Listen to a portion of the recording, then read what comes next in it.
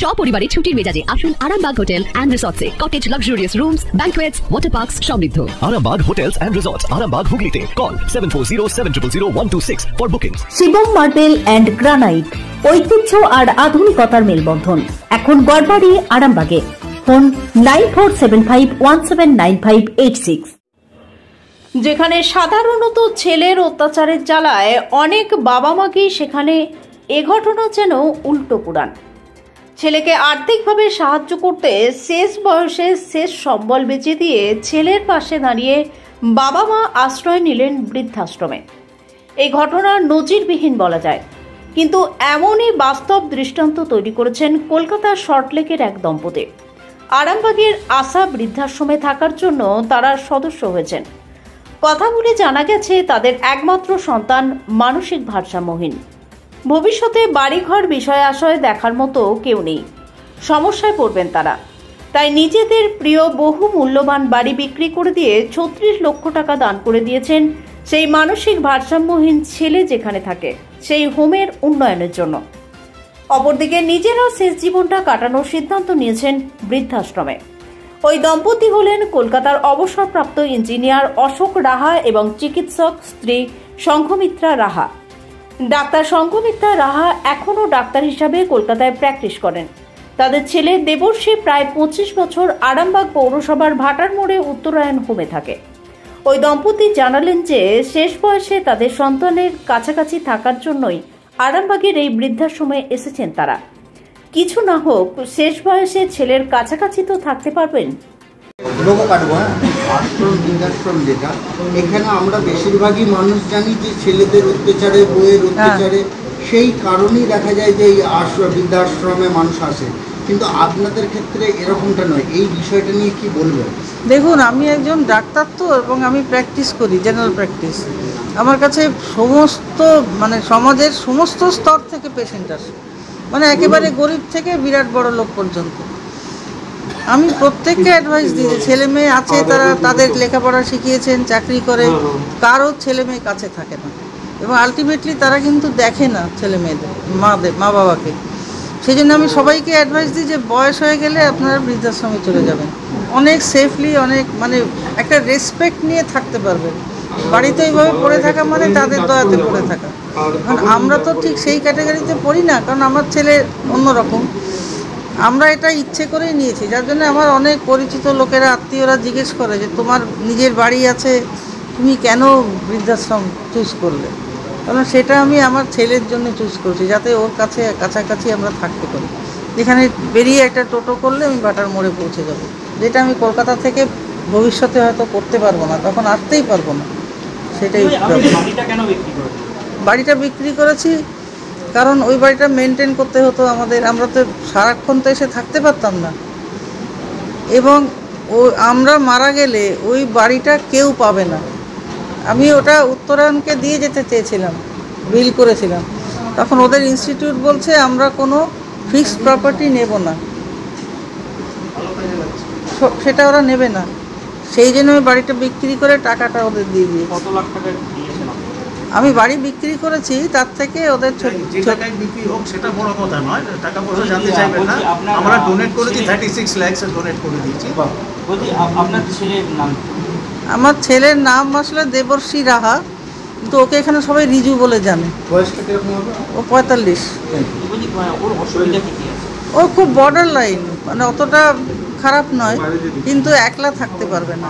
একটু শিশু সুলভ আর কি, টাকা পয়সা হ্যান্ডেল করতে পারে না হিসেব বোঝে না। আপনি কি জেনারেল হ্যাঁ হ্যাঁ জানো কোথায় প্র্যাকটিস করেন?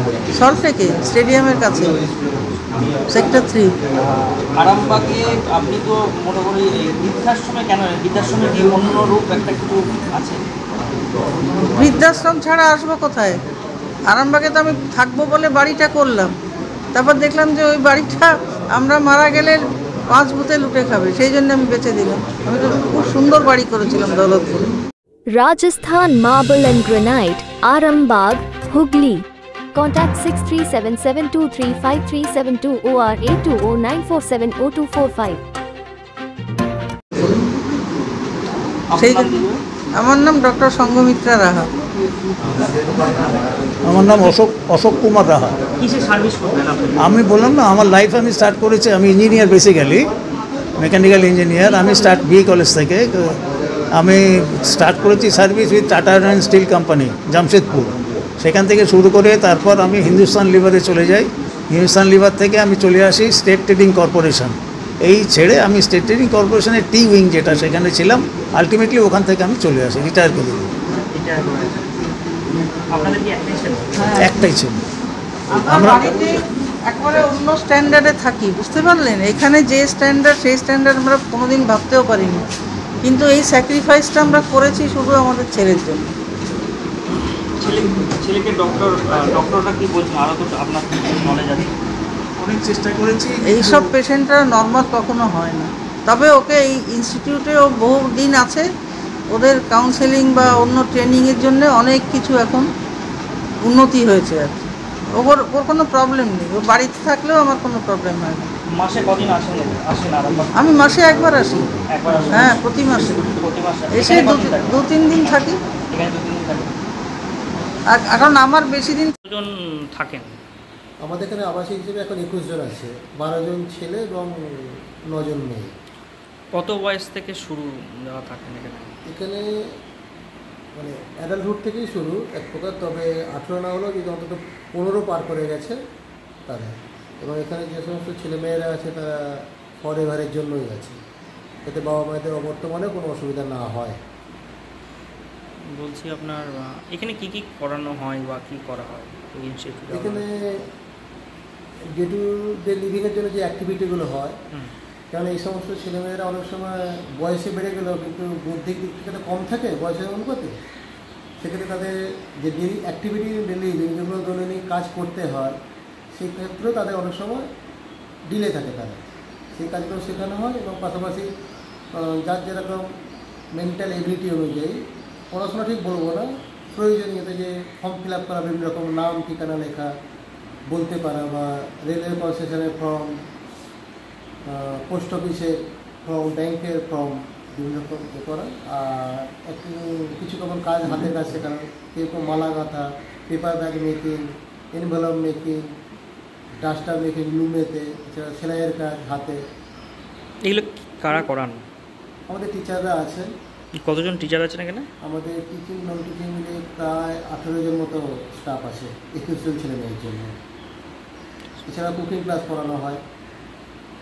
উলের উল বোনা হয়। কোন কোন জায়গা থেকে এখানে ছাত্র মানে আছেন? কোন কোন জায়গার বিভিন্ন জায়গার কোন কোন জায়গা? আমাদের যেমন চণ্ডীগড় থেকে আছে দুজন তারা দুজনের ভাই বোন জলপাইগুড়ি থেকে আছে তাছাড়া বহরমপুর আছে ব্যারাকপুর আছে আর সল্টলেক আছে খিদিরপুর আছে বালিগঞ্জ আছে। ওনার মিসেসের যে ছেলে, পঁয়তাল্লিশ বছর বয়স, তা আপনাদের এখানে থাকে। ওনারা হাজব্যান্ড ওয়াইফ কেমন টাইপের মানুষ, যদি বলেন? ওনারা ভীষণই ভালো ডক্টর রাহা এবং মিস্টার রাহা দুজনেই। ডক্টর রাহা বর্তমানে আমাদের এখানে যে সমস্ত ছেলেমেয়েরা আবাসিকরা থাকেন, তাদের মান্থলি হেলথ চেক আপ এবং ডে টু ডে আমাদের যে শরীর খারাপ করে ছেলে মেয়েদের মাঝে মধ্যেই, সেই ব্যাপারটা পুরো দেখা যায়। ওনাদের বাড়ি কোথায়? আমাদের বাড়ি সল্টলেক পূর্বাচল স্টেট ওনার ছেলে কত বছর আছেন এখানে? ওনার ছেলে আছে এখানে একদম স্কুলের শুরু থেকেই প্রায়। আমাদের এখানে যে স্কুল উনিশশো আটানব্বই সালে এটা আরামবাগে হয়েছে। তাছাড়া আমাদের ডে কেয়ার সেন্টার আছে সল্টলেক উত্তরায়। সেটা উনিশশো পঁচাশি সালে। ওনারা মাসে কতবার আসেন এখানে দেখা করতে? মিনিমাম একবার দুবার করে প্রতি মাসেই আসেন হেলথ চেকআপ তো করতে আসতেই হয় ওনাকে ডক্টর রাহাকে। তাছাড়া ওনার প্রয়োজন অনুযায়ী মিনিমাম দুবার আসেন ওনার ছেলের নাম কি? ওনার ছেলের নাম হচ্ছে দেবর্ষী রাহা। কত বয়স হবে এজ?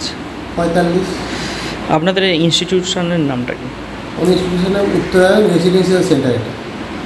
এটা কি? এটা আমাদের মেন স্পন্সর হচ্ছে পলিসি লিমিটেড হ্যাঁ বিক্রা কোম্পানির আন্ডারই এটা। বিকেরাই কোম্পানি আপনার নাম? আমার নাম সুরজিৎ গুলুই আমি উত্তরায়ণ রিসার্চ সেন্টারের ইনচার্জ। সুরজিৎ? বিবাহে বাধা দাম্পত্য কলহ ব্যবসা বাধা চাকরির সমস্যা বিদ্যায় বাধা প্রেমে ব্যর্থ সাংসারিক অশান্তি, মাঙ্গলিক দোষ, কাল সর্প দোষ সহ যে কোনো সমস্যার সহজ ও গ্যারান্টি সহ সমাধান পেতে আসুন শ্রী অজয় শাস্ত্রীর কাছে। প্রতি রবিবার রবীন্দ্রপল্লী আনন্দমার্গ স্কুলের সন্নিকট, আরামবাগ। প্রতি ইংরেজি মাসের প্রথম ও তৃতীয় বৃহস্পতিবার অভিষেক লজ, কতুলপুর। এছাড়াও বসছেন বিষ্ণুপুর, শিয়াখালা, কলকাতা, বর্ধমান, দুর্গাপুর ও শিলিগুড়ি। অগ্রিম নাম নথিভুক্ত করতে ফোন করুন nine nine three three eight five four nine eight four.